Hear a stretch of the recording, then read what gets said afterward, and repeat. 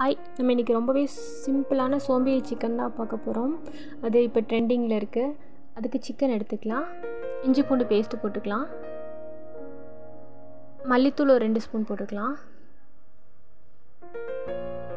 Chicken தூள். அது ஒரு மூணு டேபிள் ஸ்பூன் கிட்ட போட்டுக்கிறேன். இப்போ வெங்காயம் தக்காளி. கொஞ்சம் கருவேப்பிலை. இது கூட கொஞ்சம் உப்பு சேர்த்துக்கலாம்.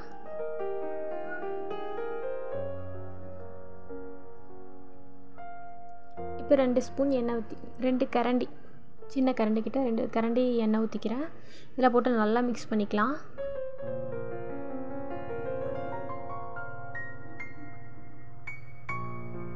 இப்போ ரெடி ஆகிடுச்சு இப்போ நம்ம இப்போ அடுப்பு பற்ற வச்சு வச்சுக்கலாம்.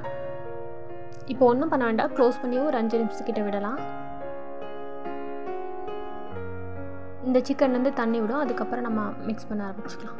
இப்போ நல்லா தண்ணி விட்டுருச்சு. இப்போ நம்ம எடுத்து மிக்ஸ் பண்ண ஆரம்பிச்சிடலாம். சும்மா கிளறி மட்டும் விடுங்க.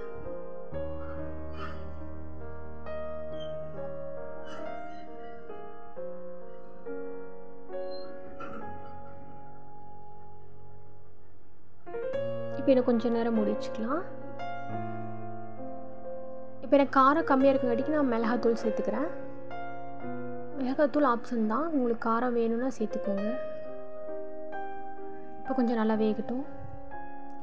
இப்போ எண்ணெயெல்லாம் பிரிஞ்சு வர ஆரம்பிச்சிருச்சு.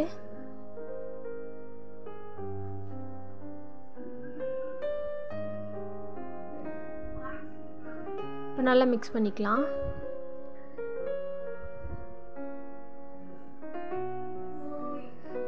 ரொம்பவே டேஸ்ட் சூப்பராக இருக்கும். கொத்தமல்லி தலை போட்டுக்கலாம். அவ்வளோதான் நம்ம சோம்பேறி சிக்கன் ரெடி ஆகிடுச்சு ரொம்பவே சிம்பிளாக இருக்கும். எல்லாம் ஒன்றா போட்டு மிக்ஸ் பண்ணுறது தான் இந்த வீடியோ பிடிச்சிருந்தா நம்ம சேனலை மறக்காமல் சப்ஸ்கிரைப் பண்ணி லைக் பண்ணிவிடுங்க